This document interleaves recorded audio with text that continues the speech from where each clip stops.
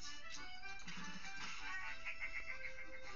so funny, Mr. Krabs? Oh, thanks, SpongeBob. Uh, uh, well, say, uh, aren't you supposed to be out back scraping at the dumpster.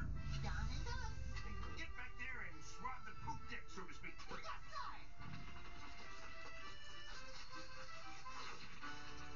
Hey, what are you doing with my change? Your change?